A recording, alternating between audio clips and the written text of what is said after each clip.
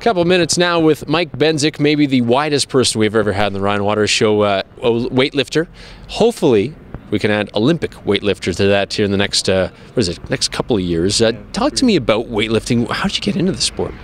Um, I got into Olympic lifting when I was 14, and uh, I was just going to the regular gym. It was called Body Tech at the time in Westbank, and there was a guy there.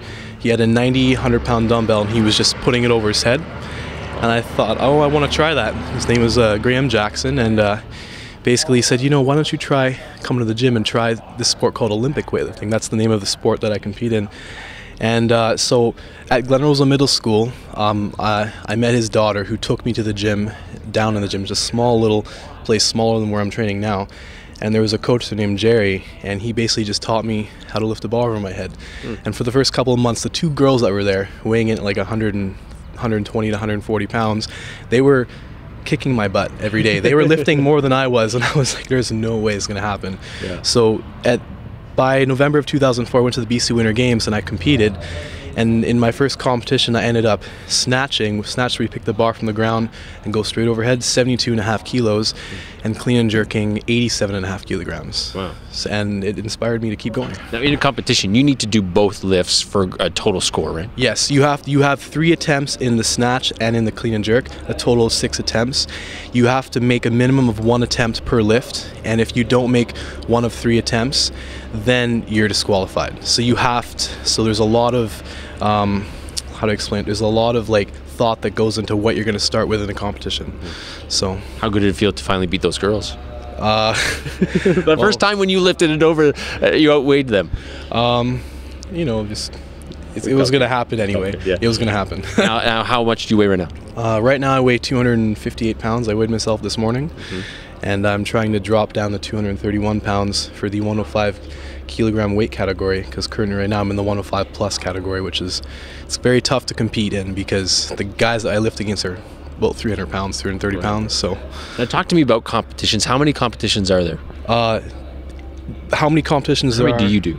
I I try to do at least like this is my trial year so far. So I did eight this year okay. in the last 13 months. Trial year, as in meaning what? As in uh, I took time off from the sport. I came back and I knew I had to go to these competitions to, you know, show face and get the platform time, get my mind back in the zone, you know, get back what I need to become a good athlete. Why'd you leave? I left because it was just like a, it was a bad time in my life, and uh, you know there were things happening. I wanted to go to school, and um, you know things happened at the gym that we had. It was called uh, Spartans Weightlifting at the time, and it just kind of pushed me away from the sport. And I biggest thing is from lifting from age 14 to 19, I needed a break. Mm-hmm. Right, so it was just that time in my life, and uh, I took the break. And during that break, I learned that um, I needed something, something that was going to push me to a limit. Like I really want to accomplish something in life, and I knew that I could Olympic lift, so I came back and the Olympic, we're talking about the hopeful, the Olympic Games that you're trying to get to in 2016 in Rio. Is it realistic? Do you have a good feeling that it is a realistic opportunity for you? I have a good feeling that it is a realistic opportunity because it's all about dedication. Mm-hmm. And if I'm dedicated and I stick to what I'm doing now and definitely improve upon the training that I am doing currently, you know, realistically, anybody who really tries hard can make it. Now, when we look at the Olympics and the different team sports in the Summer Olympics, there's a basketball team, there's a volleyball team, there's a swimming team. There's not necessarily a weightlifting team, right? So, how do you get to the Olympics?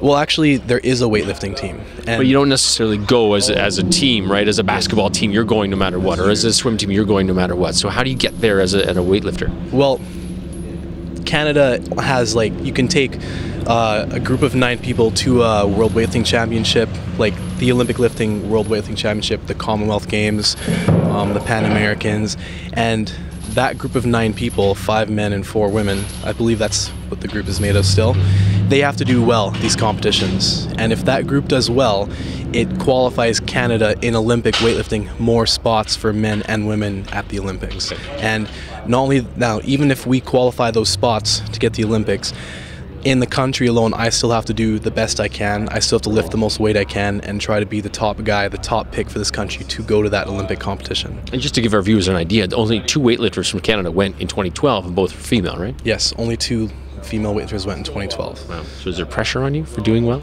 Uh, there's always pressure, but you know what? I feed on that pressure. I need that pressure to keep going, and without that pressure, it makes it not as worth it. But with the pressure, I just feel like every day I come here, I'm ready to train. Thanks for doing this. Good luck. Uh, keep us posted on, on your progress, okay? Thank you. Thanks Remember his name. He may be at the Olympics in 2016, and he's from right here in the Okanagan.